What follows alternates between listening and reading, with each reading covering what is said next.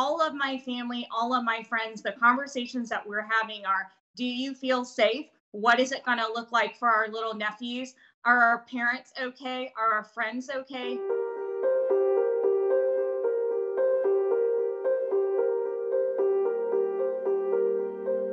And for those of us who learned our history and who experienced it um, through our ancestors, know that from the inception of this country that there has been violence and brutality against Asian Americans, starting with Chinese rail workers.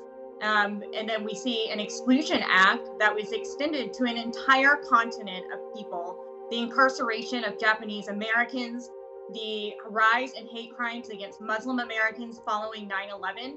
All of those things are part of our history in this country.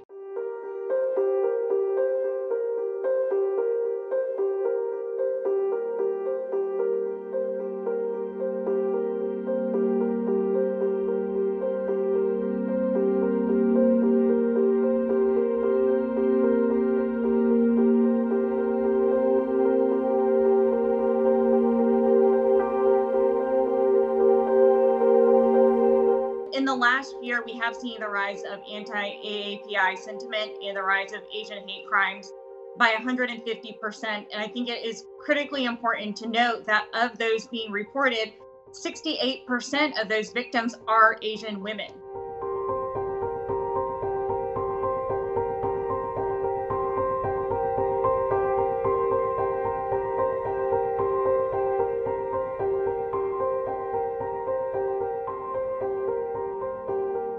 As a public elected official, whenever somebody disagrees with my opinion or my policies, the first thing that they do is criticize the country from which my parents come from.